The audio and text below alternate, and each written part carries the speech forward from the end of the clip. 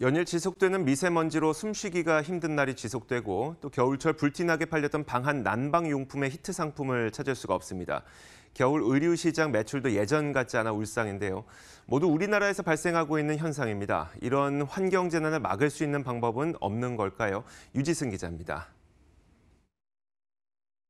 열대 지역에서 수입했던 망고와 바나나, 이젠 우리나라에서도 재배됩니다. 해마다 예년보다 따뜻해진 겨울 날씨에 패딩 등 방한용품 소비도 줄었고 미세먼지로 뒤덮인 하늘에 숨쉬기도 어려운 날들이 늘고 있습니다. 모두 환경오염에 따른 기후변화로 생겨난 변화입니다. 환경 문제의 주범은 석탄 화력 에너지와 쓰레기입니다.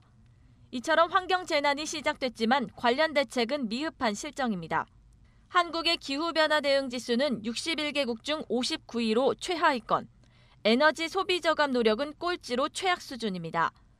해외에서는 기온 상승에 따른 이딴 산불과 기후 난민이 발생하면서 환경 문제에 대한 관심과 대응 마련의 움직임이 높아지고 있습니다.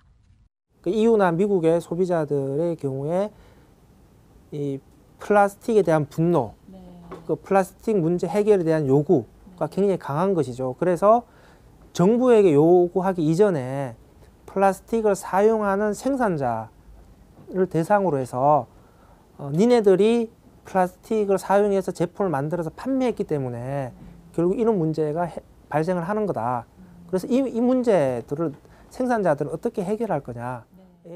이런 요구에 따라 코카콜라와 네슬레, 유니레버 등 글로벌 기업들은 10년 내 자사의 병과 캔을 전부 수집해 재활용하겠다고 선언했고 맥도날드 역시 2025년까지 전 세계 매장에서 사용되는 포장 용기를 재생 가능한 소재로 교체하기로 했습니다.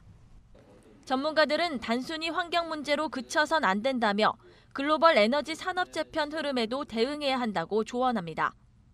이산화탄소 배출이라고 하는 그 자체가 우리 경제 성장하고 굉장히 이게 밀접하게 지금 묶여 있기 때문에 이것을 우리가 줄인다라거나 이렇게 되는 경우에는 우리의 산업의 구조를 다시 봐야 되는 것이고 우리가 어떤 식으로든 간에 온실가스, 화석연료를 안 쓰는 이런 산업의 구조를 끊임없이 우리가 고민을 해야 될 때가 됐고요.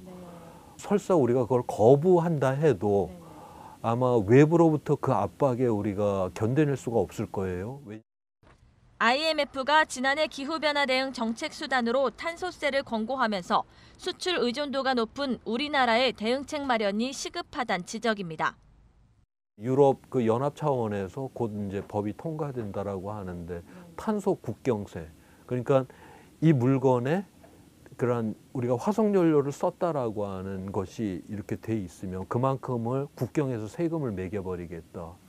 그러니까 우리가 결국 생존을 하기 위해서는 결국 우리가 스스로 거부한다 해도 생존을 위해서는 스스로 그거를 대응을 할 수밖에 없는. 머니투데이 방송 유지승입니다.